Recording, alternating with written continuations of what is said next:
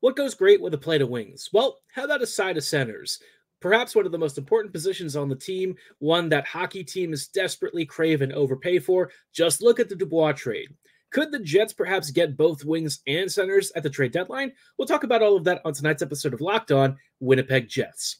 You're Locked On the Hockey Jets, your daily podcast on the Winnipeg Jets. Part of the Locked On Podcast Network. Your team every day.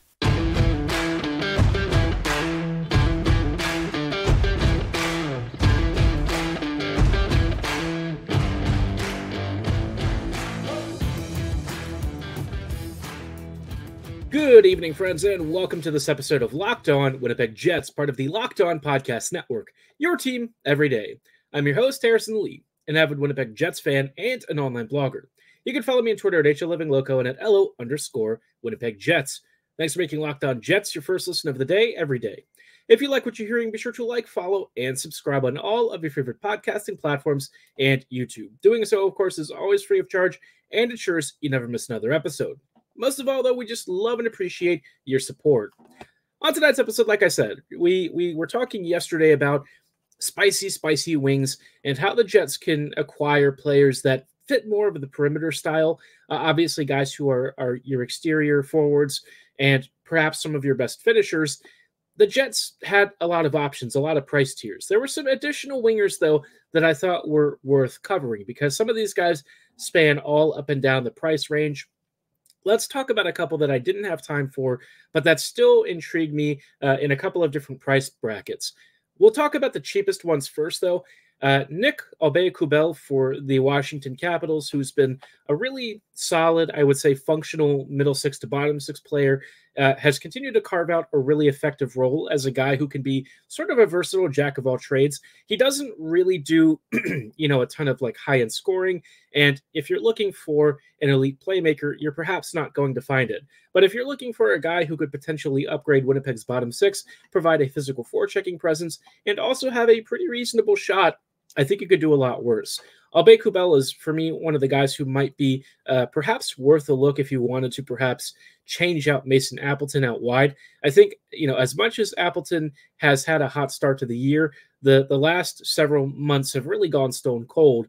And Appleton just doesn't play a game that I feel like perhaps fits Bones' style as much as I wanted it to. He does generally have good chemistry with Lowry, but I feel like upgrading uh, and giving uh, you know, that third line a little bit more flexibility, a little bit more scoring punch, or perhaps just a player who will drive the net a little more aggressively would do wonders for how they play. So Aube-Kubel has some underappreciated skill. He's had really strong seasons in the past. Uh, you know, this year, obviously, it's been I would say a modest scoring rate, but in past years he's gotten close to 20 points. Again, if you were to get him for like a pretty low round pick, I don't think that there's anything particularly crazy there. Uh, but I think for the Jets, you'd have a guy who would be a nice, versatile bottom six player, probably for your fourth line. Now, the question is, does that really move the needle for the Jets? Probably not. I think Aube-Kubel would mostly be like a depth insurance kind of trade and not really what I'd be targeting um, unless the Jets were really sort of looking for like a bottom of the barrel, uh, cheap bargain price player who they think could project to have a more important and prominent scoring role. But I don't think that would be Aube-Kubel's thing. And if we're looking at players that sort of fit this category, I'd actually be a lot more interested in Mathieu Joseph. I've talked about him before because the Jets have actually inquired about Joseph, if I recall correctly. Uh, Mathieu has always been a little bit underappreciated. And with the Senators, he's actually had an all right season so far. You know, 23 points in 36 games it's actually a pretty decent amount. He's seen an increase in his ice time as well. What I think is really impressive, though, is that almost every single point he's had this year has come at even strength, which for the Jets is awesome because we know their power play doesn't do jack crap, right? The, the power play is really sucky. So if you have a guy who's scoring even strength points and is getting you uh, about two thirds of a point per game, I, I, really feel like that is crazy value. And with um, it, with with Joseph, he's also got another season, and he's very affordable cap hit wise. You're looking at a guy who's currently on pace to have like a 50 odd point season, and you know, for a player who's uh, going to cost you well under five million, I feel like for two seasons, that's pretty amazing, right? A season and a half in this case because he's already played half of his first year. But for the Jets, I think he'd be an ideal third line upgrade and somebody that again would probably be within Winnipeg's price bracket, especially if they're not looking to break the bank for a huge rental. Now, if the Jets are really starting to feel ambitious and frisky, and they think they can potentially lure Pavel Buchnevich out of St. Louis, that would be where we're starting to get into the more dreamlike tier, but a tier that I could see Winnipeg potentially touching. Uh, Buchnevich obviously has been one of um, St. Louis's best players. He was an absolute menace when he was with uh, with the New York Rangers, and he just continues to be an excellent transition player, a great playmaker. He hasn't exactly hit like crazy numbers this season, uh, relatively speaking, but you know, even if he's not like a point per game on a bad Blues team, you've seen him do that before in previous years. He's actually been over a point per game in his last two seasons with the Blues prior to this year. So there's a really good chance that if he comes to a much better team, a squad that has legit high end finishing talent and playmaking skill versus the Blues, who have generally been a lot more low event this year, Butch could potentially hit you know, a point like maybe a 1.1 point per game pace or something crazy for the Jets. And it'd also be a huge boost for the power play. Now, like I said, the one kind of qualifier that comes with Butch is that he's got another year and he's got like a modified no movement or no trade clause of some sort. So let's not get it twisted. You just you'd still have to convince him to leave. But I feel like if your option is St. Louis, with a team that's probably uh, needing to tank more than anything, and you want to go cup chase in perhaps the last years of your prime, you could do worse than the Jets. And I think Winnipeg has built a really good winning culture. I think this team has a very strong, tight knit familial feel, and that could go a long way to perhaps papering over some of the let's be honest, locale challenges. I know that everyone always talks about Winnipeg as not being the most attractive place for players to get traded to. And I, I can understand that. But I think if you have a team that has shown a track record of success and that is, that is proving that it can be a true contender, the Jets might be able to lure a lot more talent to this team than you think. I think a lot of people tend to they really focus in on the no trade, no movement, no movement clause, and they don't think that there's any sort of possibility the Jets could be an attractive destination. But I, I think the Jets have done enough this year to rewrite that script. We've already seen players committing to Winnipeg long term. I think that is a sign that, that perhaps the the sands are shifting in our favor. And sure, you could argue the market conditions were really convenient for the Jets to just somehow get the best goalie of this generation under a, a huge long term deal. But I'm telling you, there's there's more under the surface here. I think you know seeing Scheifele and Nino commit. I, I feel like that's a sign that good things are coming to this team, and I really hope that that continues to be the trend. So Booch might not be as out of reach as it looks right now. Another guy that could really be interesting and also has no trade protection is Travis Konecny, and he's got some positional versatility. He can play down the middle, and he can also play out wide. Uh, I know that his numbers this year perhaps don't look as impressive as maybe last year's, but for a guy who has shown that he has a great, great talent for scoring, is an absolute pest, kind of like uh, Piranhas, but perhaps um, with a few less suspensions. Travis would be an awesome player and somebody who would immediately slide into Winnipeg's top six. He'd be an unholy menace on this team. And again, if you're looking for somebody who can just naturally boost your power play scoring, this is the guy who could probably, uh, again, add you know more playmaking skill, another finishing talent, and perhaps even boost the first power play unit to league average. Right? I know that that's such a low bar to clear for the Jets, but let's be real, right? A league average power play, and this team is absolutely cooking. So if Travis can get the Jets anywhere near that, let's go. It's also worth noting that he shoots a really high percentage for much of his career. He's averaging like a 12% shooting rate, which is pretty great and tells you that this dude has legit finishing talent. And again, he will be expensive, but you know what? If ever there was a year for the Jets to just sort of not necessarily throw caution to the wind, but be willing to consider going all in, this is that year. I feel like Winnipeg is in a great window. They've got another season after this with most of the team under contract control. If you got to pay up, go for it. This is the year to do it, and I think Winnipeg Winnipeg can come out ahead with some quality players. Now, aside from wings, right? Like I said, what goes well with a side like a side of uh, wings? You've got to have your centers. You've got to have the core down the middle. And for the Jets, I think finding the right center has been a little bit of a challenge. I've got a couple of candidates who I think could slide into Winnipeg, perhaps even be a little bit underrated, and maybe even help the Jets save some in assets if they can get them on discount cut rate trades. We'll talk about who these centers might be in just a little bit. Before we go any further, though, I do want to shout out our friends and partners at Jase Medical. I know we come to sports to, to, escape from some of the crazy realities of daily life, but I just wanted to talk about something relatively serious and how you can be prepared for all of the craziness that life throws at you. According to the FDA, pharmacies are running out of antibiotics like amoxicillin right in the middle of what has been a pretty crazy bacterial outbreak. We've had tons of respiratory stuff. I know I've personally had, you know, things over the last couple of months on and off. And if you don't have the right prescriptions and stuff, it can really suck. I can't imagine a more helpless feeling than knowing that myself or somebody I care about doesn't have access to the basic medications they need because the supply chain is taking a bit of a hiatus. But you know what? Jase Medical is here to help. They offer the Jase case, which is a pack of five different antibiotics to treat a long list of bacterial infections, including UTIs, respiratory infections, sinusitis, skin infections, and so much more. It's stuff that could happen to any of us and probably already has at some point this year or even last year. If you want to prepare yourself better, visit jasemedical.com and complete your physician's encounter. It will be reviewed by a board certified physician, and your medications will be dispensed by a licensed pharmacy at a fraction of the regular cost. It's never been more important to be prepared than right now. Go to jasemedical.com and use offer code locked on to get $20 off your order. While we're at it, I also did want to shout out our friends and partners at FanDuel, especially as we are rolling into what should be a, uh, a rather interesting Super Bowl. Uh, speaking of which, happy Super Bowl to all who celebrate from FanDuel, America's number one sports book. If you're like me, Super Bowl Sunday is all about scoring the best seat on the couch, grabbing your favorite football snacks, and placing some super bets.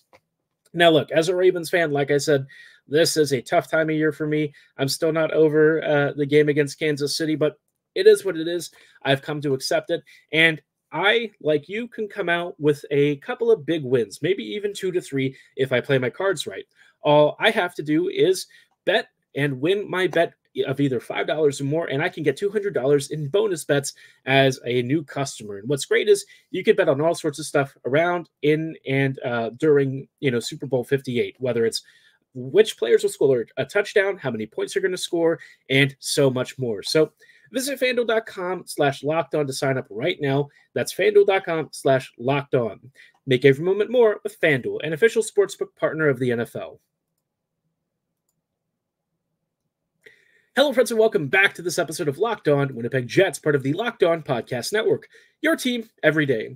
Every day, thank you so much for rejoining us on tonight's episode as we are talking about uh, forward ranks and some players that the Jets could potentially trade for. And we've basically covered, I would say, the bulk of the wings that I was really interested in. There may be one or two stragglers that I haven't discussed, maybe some targets I've ignored. So if you feel like there's somebody out there you want me to evaluate and maybe talk about Winnipeg's odds of landing said player, of course, just drop them in the comments below, and I'd be happy to cover it on a future episode. But I want to take a, a bit of a, a change and move to a different position let's talk about centers because the Jets, I think, have been talking a lot about you know the play down the middle and who could probably slot in, especially seeing you know the absence of Scheifele and how that has impacted this team. It it definitely has shown Winnipeg's lack of elite center depth, which could be a problem come playoff time. Before we dive into the potential list of players the Jets should be suitors for, just wanted to let you know about something really cool the Locked On Network has done. We have launched the first ever national sports 24 7 streaming channel on YouTube. Locked On Sports Today is here for you 24 7, covering the top sports stories of the day with our local experts and our national shows covering every league. Subscribe to Locked On Sports Today on YouTube for the first ever national sports 24 7 streaming channel. Now, diving right back down the middle of the center list, pun intended, uh, let's talk about some of the top names that have been linked to the Jets or perhaps rumored in other areas. I've already talked about Elias Lindholm for now, so let's let's move on to perhaps returning to Casey Mittelstadt. Mittelstadt's been one of those players who I think had a really unusual trajectory in the NHL. He had like a really big World Juniors or something several years ago. And there was this expectation that when he got to the NHL, he'd be like this elite top six center. And then he promptly had like four or five years of scoring uh, either below 25 points or well below 25 points. He's had some injury issues. And, you know, in general, I feel like his career has kind of been modest. Uh, you know, this is a guy who has been probably closer to like a half point per game, which I think for a player of his caliber is actually really good. Uh, I think sometimes he tends to get a lot of stick because he was drafted eighth overall and taken really high. And perhaps it was a little bit too high of a draft pick. But look, you have to evaluate a player for what they are and what they've become. And Mittelstadt right now is having one of the best seasons of his career. And it's not like it's a thing that's suddenly out of thin air. Last year, he posted almost 60 points in 82 games. This year, he's at 42 and 49. And there's been a steady progression in both his defensive responsibility and his ability to create shots on goal and scoring chances. Uh, you know, this year, he's really getting a lot of ice time, too. He's starting to push closer and closer to first line ice time. And I really feel like he's deserved it.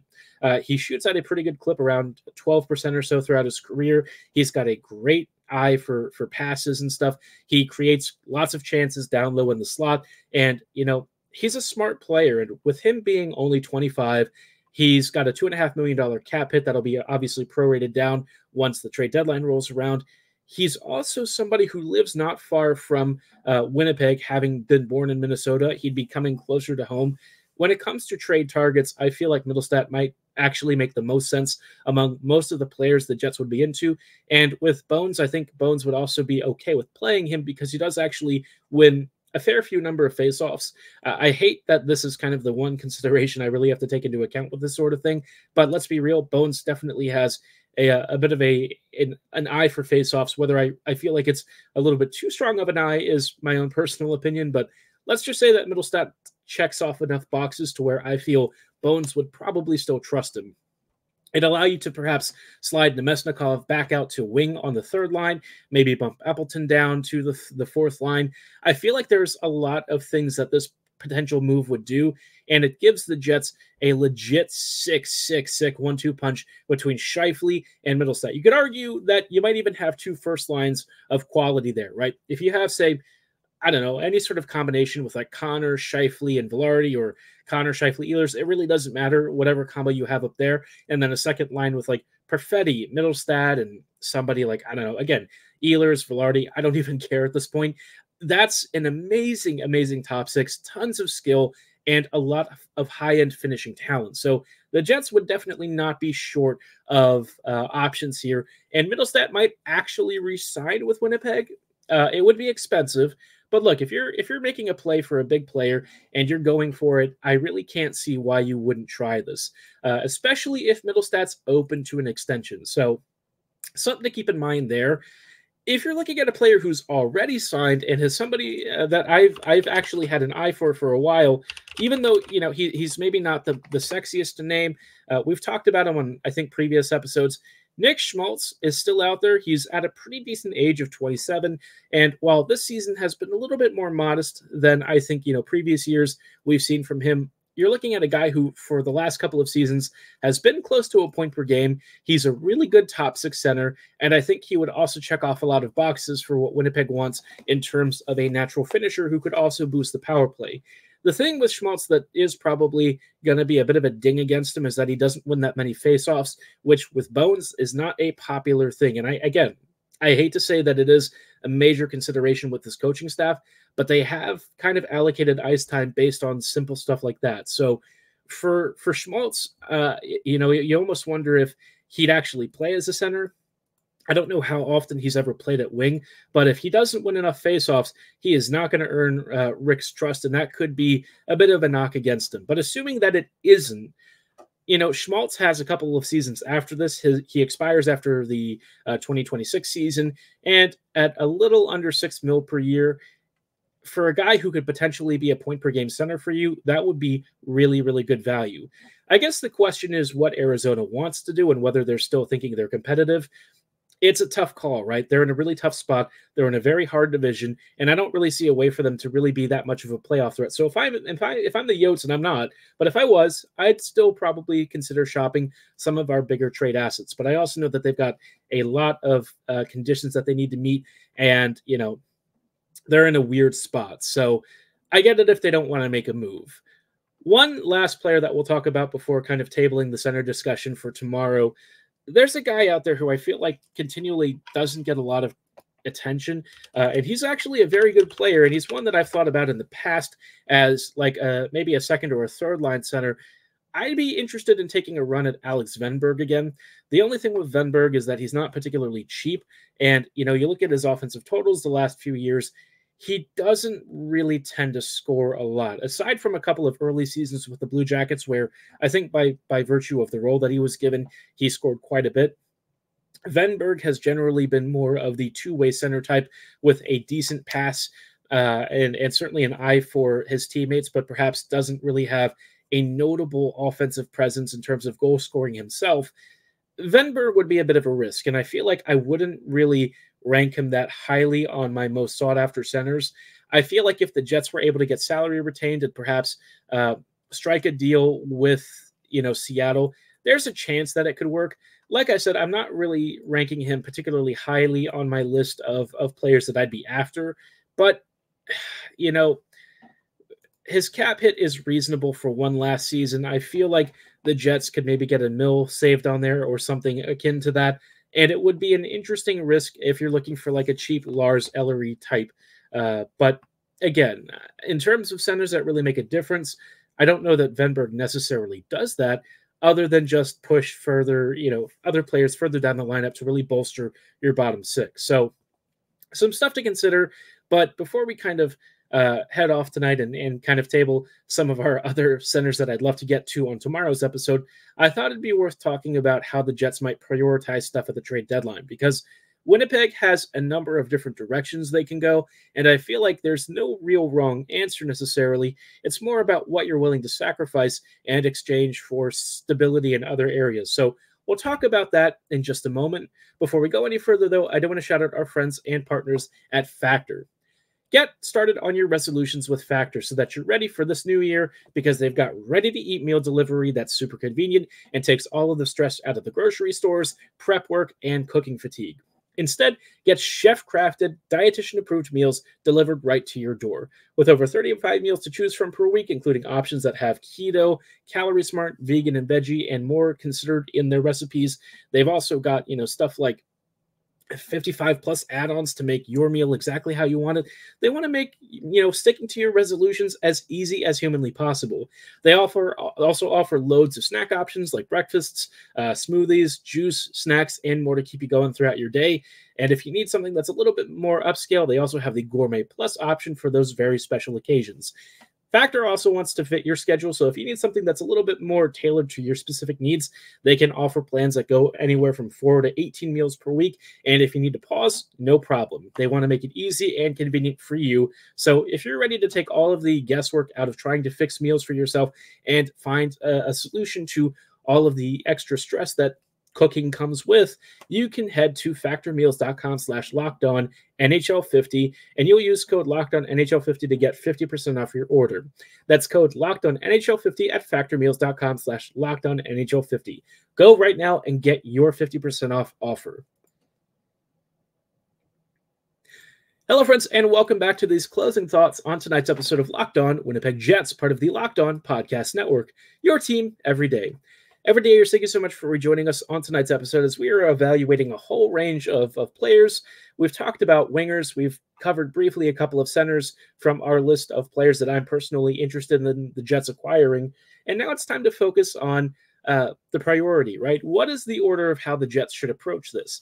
And I think it's a it's a really tough question because Winnipeg has a fair few number of needs, but you know, in terms of importance, I think each week that we've gone through the season, especially the last few weeks, it feels like the priorities shift here and there. You start getting ideas. Maybe it's a winger, maybe it's a center, maybe it's a defender. And that's where I think the Jets have uh, a couple of really interesting options. Do they go after one big player who completely changes the rest of the lineup, but perhaps limits your ability to add other pieces at the deadline? Do you go for more variety, right? Filling in a couple of different spots a couple of different positions to give yourself optimal flexibility with your lineup. I think that they have really good choices in almost any category they choose. But I think if I have to choose one particular direction, I think that they should prioritize a top six center. The center depth for this team, it's not bad, but I think you notice that when you lose somebody like Scheifele, and and look, this would be a massive impact for any team that had a player of Scheifele's caliber. Make no mistake, everyone would be ailing from the loss of Mark. He's a really good top six center. He's a first liner. He's one of our most creative players. And it's funny because I say this about a guy who might be considered the third best player on his line. But I promise you, when you actually see this team without him and how it elevates the other centers uh, further up the lineup, you can really get a sense of his impact, perhaps in an understated way. His offensive skill and acumen really isn't matched by too many players on this team. He's really good at what he does, and without him, this team starts to really struggle to generate offense at 5v5. So, with that in mind, I really feel like the Jets should kind of go all in on a really big center. I think they can actually add a quality winger of some sort, even if they were to choose, you know, the center route, right? You go for Lindholm or Mittelstadt, whichever option you're interested in, maybe even a Schmaltz or a Kerfoot or something. Some of these names you'll hear on our, our next episode and, and, you know, why they might be really good candidates for the Jets. But overall, I think the approach should be to uh, add a center and a wing. I think if you can get a really quality center who moves the needle, and maybe a depth winger who can add, you know, tertiary scoring to this team, that'd be fantastic. And I would, I'd be willing to go with some bigger assets. This is where I think like a Daniel Sprong with a modest cap hit could be a really valuable asset. But the problem is he's probably not going to be cheap, right? you try for like a Sprong in a Mittelstadt, you might be mortgaging a huge portion of your team's future trying to do that. And I don't know that that's necessarily the best option. It might be worth trying to find a player, um, perhaps in the you know Mathieu Joseph tier, who's underrated, who's not like insanely cheap cap hit wise, but you could probably do a little bit of retained salary on, and you know maybe even swap a player back that would cheapen the price for you, say an Iafallo or an Appleton or something, a, a legit quality player to upgrade, and then you know the Jets get a nice cost controlled asset who's been producing at like a two thirds point pace. And then you factor in Mittelstadt, who's been an absolute monster and would easily slide into Winnipeg's second line.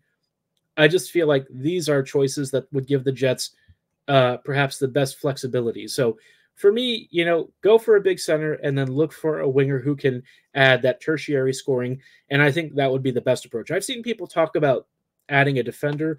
And look, I the thing with the Jets is that their defense, especially as a team, is actually pretty good. Whether it's top of the league, you could argue maybe there's a couple of teams that are technically better. I know blue line wise, the Jets don't have the best on paper defense, and it has clear limitations when it comes to offensive ability. But if Heinola recovers back to his full health and is able to do what he does best, you know, it might not be as tricky of a situation to deal with as imagined. As it is, the Jets have a fairly serviceable blue line, one that can do most of what Winnipeg needs. Heinola would certainly add the mobility end, and I just don't know that there's a lot of, of back end skaters who would really move the needle for the Jets that would also allow them to upgrade it forward, right? If you trade for one of the players that I'm going to talk about in a future episode uh, for, for your blue line, you're probably not getting that Mittelstadt or, or some of the higher end names. So as I said, you're always going to have to give up to to to get something, and I think a cost benefit here is that if you're upgrading on on the forward end of things, you're looking for more goal scoring prowess in offense, and that is what wins you games. Defense can be nice, but the Jets already have one of the best goalies out there. They've got an extremely tight team defensive structure, and they're very stingy, right? So instead, look at how you can make this team's power play and 5v5 offense even better than it already is. I think that's the way to go. That's my approach. And I hope that uh, you'll give me your thoughts in the comments below or at my social medias at H Living Loco and at LO underscore uh, on Twitter, LO underscore Winnipeg Jets on Twitter. But for tonight's episode, that is going to be all the time that we have. Like I said, there's even more centers and some defenders to talk about on tomorrow's episode. So stay tuned for that. But as I said, for tonight's show, that is going to be all the time that we have. Thank you so much for making us your first listen of the day. I always appreciate appreciate your support. I'll see you back here tomorrow. Don't go anywhere. Be sure to like, follow, and subscribe. And as always, have a great night and go Jets go.